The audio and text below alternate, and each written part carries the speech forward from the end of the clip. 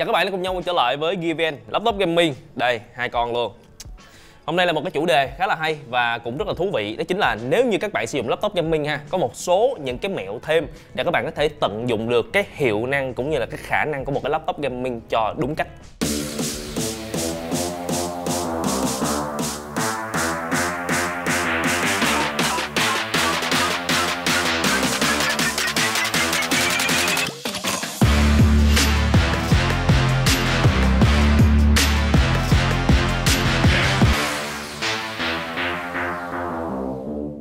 Có ba cái lưu ý mà mình sẽ nói rất kỹ ở trong video clip này và cái lưu ý đầu tiên đó chính là tận dụng phần mềm đi kèm của các laptop gaming sẵn có.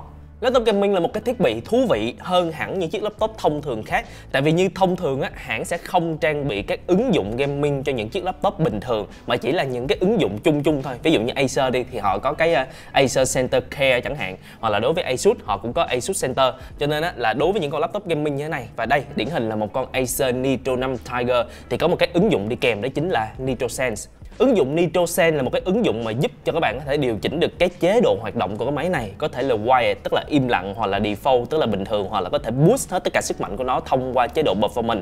Và khi mà mình kích hoạt cái khả năng performance ở trên cái laptop Acer Nitro 5 Tiger này, thì các bạn đang thấy được các bản graphic ở trên màn hình.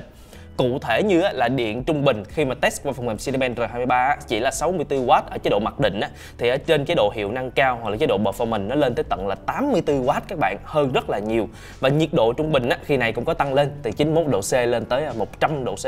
Và xung CPU trung bình thì cái nhân mạnh nó tăng từ 3.4 GHz lên tới tận là 3.9 GHz nhân yếu thì từ 2.7 lên tới 3.0 và điểm số đa nhân cuối cùng, tức là tổng điểm ha, thì nó tăng từ 12.381 điểm lên tới tận là 13.331 điểm tức là chênh lệch khoảng 7% hiệu năng.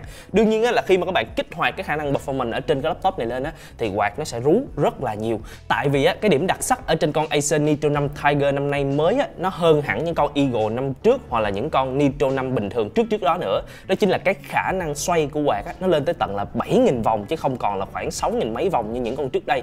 Cho nên á, là cái tiếng ồn nó phát ra là lớn hơn nhưng khả năng giải nhiệt á, thì nó cũng đồng thời là tăng theo.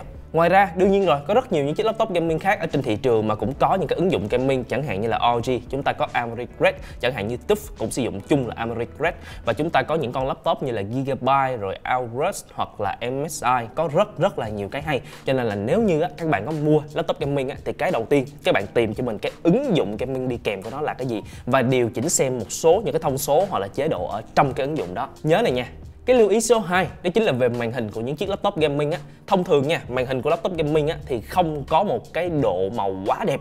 Tức là các bạn thường sẽ không có những chiếc laptop gaming giá rẻ mà khoảng 100% sRGB hay là nhìn đủ màu tất cả mọi thứ đó là khá khó. Chẳng hạn như con Acer Nitro 5 Tiger ở đây á, thì nó cũng không được cái đó. Nhưng mà cái giá trị là gì các bạn? Khi chúng ta chơi game á, thì cái chúng ta cần đó chính là hiển thị nó phải nhanh.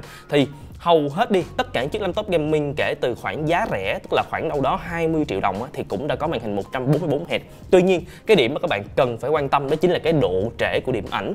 Thì chẳng hạn như là con Acer Nitro 5 Tiger ở trên bàn của mình ha, thì cái độ trễ hiển thị của điểm ảnh nó chỉ là 30 giây, thật sự rất là đã. À, mình có nghiên cứu qua thì thật ra là con Acer Nitro 5 Eagle hồi năm ngoái nó có một cái độ trễ có vẻ là cao hơn. Ở trên con này thì nó mượt hơn rất là nhiều. Vậy nên là khi mà mình sử dụng và ứng dụng vào trong các cái game thì mình thấy là nó đã hơn, nó cho một cái cảm giác nó mượt mà hơn và thoải mái hơn. Những cái game mà mình có chơi như là Liên minh huyền thoại hay là CS:GO thì hai cái game đó nó đều chiến rất là ngon.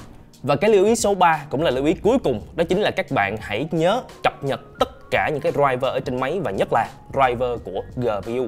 GPU là cái bộ vi xử lý đồ họa giúp cho các bạn có thể xuất hình ra ngoài và cũng là cái bộ phận gần như là quan trọng nhất của một chiếc laptop gaming. Tại vì đa phần bây giờ game các bạn chơi ăn vào CPU thì tương đối ít nhưng mà ăn vào GPU là đa số luôn. Các cái game như là Shadow of the Tomb Raider hoặc là các cái game triple A khác thì việc các bạn được trang bị một cái GPU ngon sẽ giúp cho các bạn có thể load game một cách mượt mà hơn. Vậy nên là, là cái tiên quyết nha. Các bạn nhớ hãy cập nhật GPU driver lên một cái phiên bản mới nhất để anh chi. Tại vì thông thường khi các nhà sản xuất mà người ta cập nhật cái driver GPU thì cũng đồng đồng thời là người ta tối ưu thêm về cái tựa game mà đang hot ở trên thị trường. Chẳng hạn như gần đây là cái game mà Elden Ring. Đấy, cho nên là các bạn, nếu như mà đang sử dụng các phiên bản driver cũ á, có thể là nó không có tương thích tốt với cái game đó thì cái FPS cho ra nó sẽ khá là thấp. Vậy nên á, là nếu như các bạn nào mà đang sử dụng à, card đồ họa của Nvidia thì cứ download GeForce Experience về load driver một cái.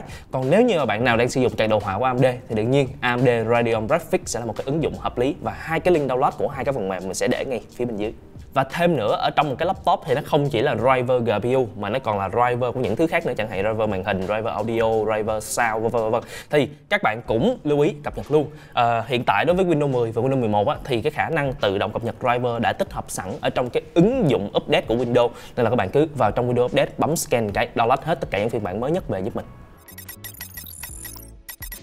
và đó là ba cái lưu ý chính khi sử dụng một cái laptop gaming để chơi game. Các bạn nhớ nha, đầu tiên, chúng ta cần phải tận dụng phần mềm có sẵn của máy. Thứ hai, đó chính là màn hình không cần đẹp nhưng độ trễ thì phải thấp. Và cái thứ ba, đó chính là cập nhật driver GPU cũng như là các driver khác một cách sớm nhất. Cảm ơn các bạn rất nhiều vì đã theo dõi video và đừng quên là giveaway sẽ lên sóng video vào lúc 20 giờ hàng ngày. Còn bây giờ thì xin chào và hẹn gặp lại.